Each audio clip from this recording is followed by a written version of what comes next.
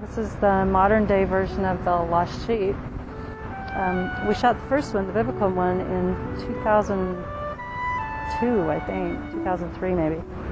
I go into these shoots, I should say, uh, with a lot of, I'm really nervous that um, as I as it leads up to it, days before, and as I'm doing my preparation for it, and what I'm reading and, and, and praying, and, and I wasn't sure how to do this. And how do you go out and find, how do you go up and, and approach someone who clearly could be a lost sheep?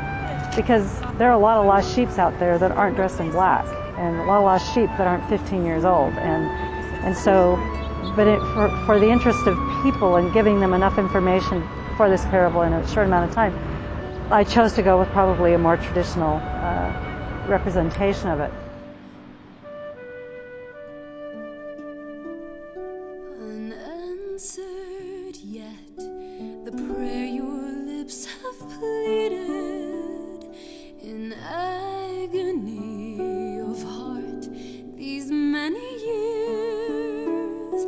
Does faith begin to fail?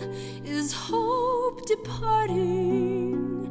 And think you all in vain those falling tears? Say not the Father hath not heard your prayer. You shall have your desire sometime, somewhere. You shall have your desire sometime, somewhere.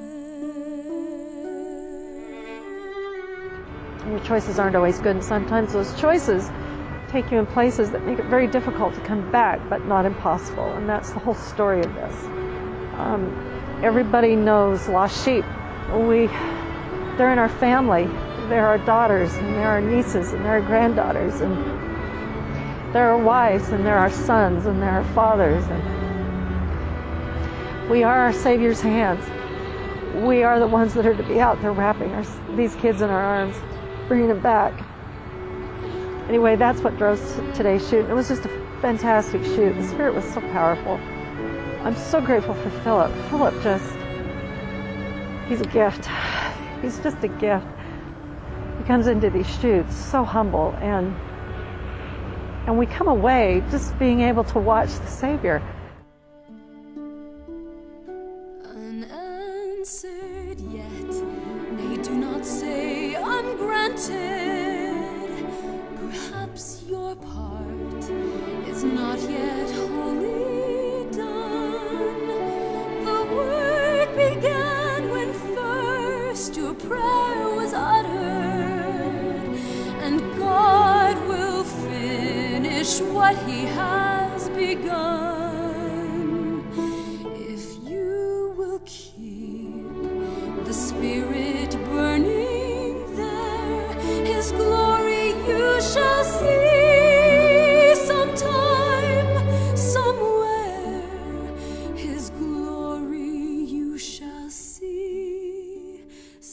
Glory